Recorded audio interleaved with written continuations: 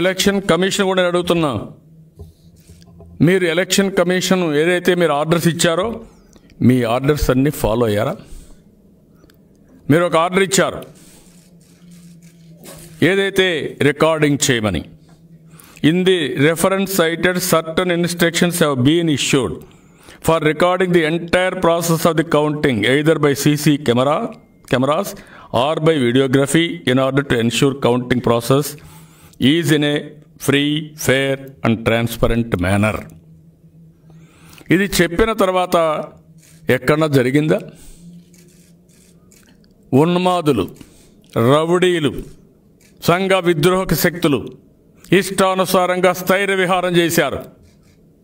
మీరు ఒక మాట అన్నారు పోలింగ్ బూతుల్లో ఉండాల్సింది candidate election agent counting agent. నేను అడుగుతున్నా ఈరోజు ఎలక్షన్ కమిషన్ కూడా. వీళ్ళందరూ తప్ప ఇంకెవరు లేరా దీంట్లో? పోలీసులు ఎట్ ఎంటర్ అయ్యారు? మీరు చెప్పారు పోలీసులు వెళ్ళరని చెప్పారు. పోలీసులు బూతుల్లో ఏం పని వెళ్ళకు? ఎందుకు వెళ్ళారు? సమాధానం చెప్పవలసిన బాధ్యత వీళ్ళకుంది మీరు పవర్ జనరే జనరేటర్స్ పెట్టమన్నారు. పవర్ కట్ చేస్తారని. నిన్న పెడంలో జరిగింది. పవర్ కట్ చేశారు. మళ్ళా వాళ్ళు పోతే పవర్ ఆన్ చేశారు. ఇమ్మీడియట్గా వాళ్ళకి ఫేవరబుల్గా అనౌన్స్ చేసి వెళ్ళిపోతారు. ఇంకొక పక్క చాలా స్పష్టంగా వీళ్ళు చెప్పింది మీరు ఒకసారి చూస్తే మొత్తం it shall be ensured that the counting atmosphere need to be sterilised and to see that no outsider shall be permitted దీనికి అబైడ్ అయ్యారా? ఎవరైతే దీన్ని వైలేట్ చేసిన వాళ్ళపైన యాక్షన్ తీసుకునే శక్తి ఎలక్షన్ కమిషన్కి ఉందా నేను అడుగుతున్నా అక్కడి నుంచి ఇంకో పక్క చూస్తే information leaks about the trends to be stopped and recount only in close cases not in cases of double digit margins single digit margins returning officer to permit one time only as per law దీని అర్థం ఏంటి? Double digit ఉంటే ఎక్కడ counting recounting చేయాల్సి చేయకూడదు. Single digit ఉంటే చేయాలా? అది కూడా ఒకేసారి చేయాలి అది చట్టం చెప్పిందని చెప్పారు. నేను అడుగుతున్న ఈరోజు ఎలక్షన్ కమిషన్ని. ఈరోజు ఇది ఇంప్లిమెంట్ అయ్యిందండి ఈరోజు నేను నాలుగు చాలా ఉన్నాయి. పెడన అర్థమూరు పంచాయతీ. డెబ్బై రెండు ఓట్లతో టీడీపీ గెలిచింది. రీకౌంట్ చేశారు. పదిహేడు ఓట్లతో మళ్ళా గెలిచింది. మూడోసారి రీకౌంట్ చేశారు. వైసీపీని అనౌన్స్ చేస్తారు. You answer this you get the records you get the documentation మీరు వీడియో కాన్ఫరెన్స్ వీడియో పెట్టారు కదా? తెప్పించినదని మీకు క్లారిటీ వస్తుంది? ఇంకొక పక్క విజయనగరం చీపురుపల్లి గొర్రెల మండలం గిరడ పంచాయతీ. పదహారు ఓట్లతో టీడీపీ గెలుపు. కరెంటు తీసేసి రీకౌంట్ పెట్టి నూట పది ఓట్లతో వైఎస్ఆర్ కాంగ్రెస్ పార్టీ గెలుపు. దీనికి ఆన్సర్ చేయండి. కర్నూలు జిల్లా డోన్ రూరల్ మండలం చింతలపేట. టీడీపీ అభ్యర్థి సూర్యచంద్రుడు నూట ఇరవై ఓట్లతో గెలిచాడు.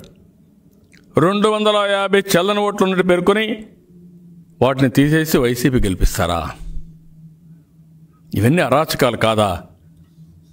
అంటే ఇష్టానుసారంగా చేయడం. ఎక్కడ కూడా వీడియోగ్రఫీ కూడా సరిగా తీయకుండా పోవడం. రాత్రి నేను ఇంత మునిపే చెప్పాను.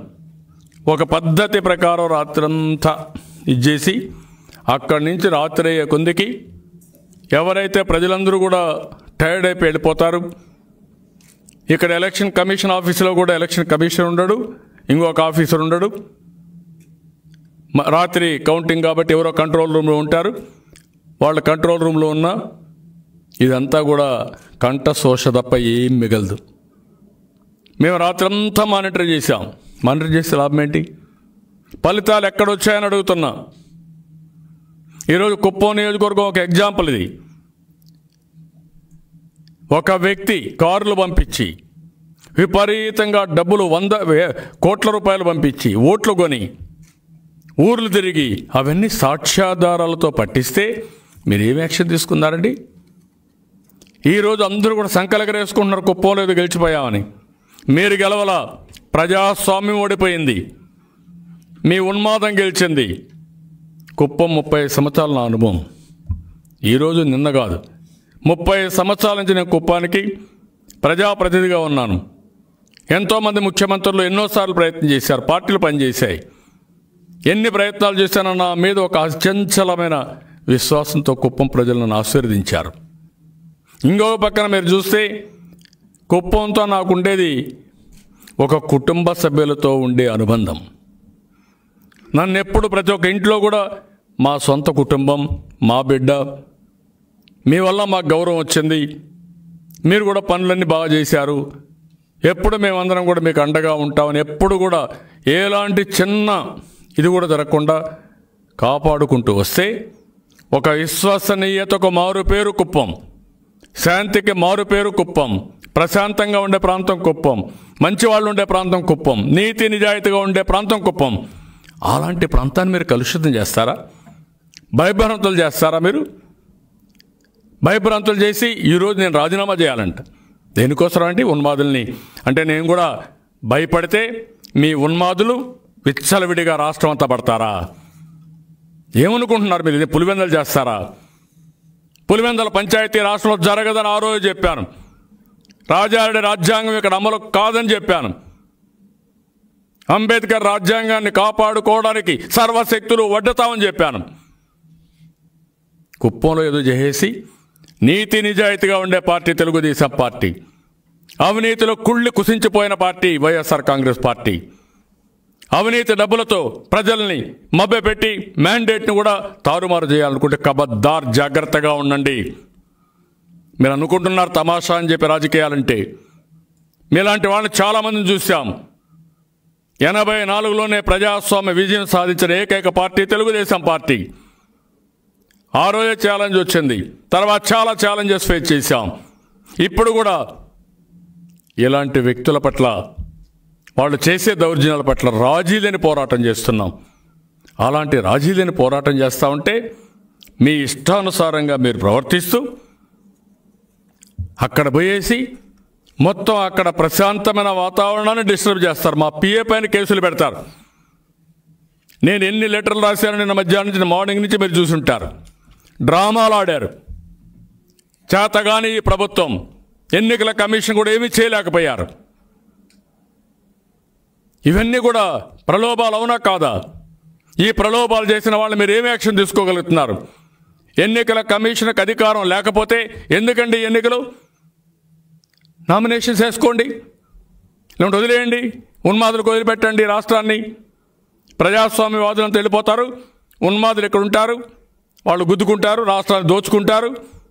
ఆ తర్వాత ఈ రాజ్యాన్ని వెళ్తారు అలాంటి ఉన్మాదులు ఉండే రాష్ట్రంలో ఇష్టానుసారంగా మీరు తయారై మీరు చూశారు నేను మధ్యాహ్నం.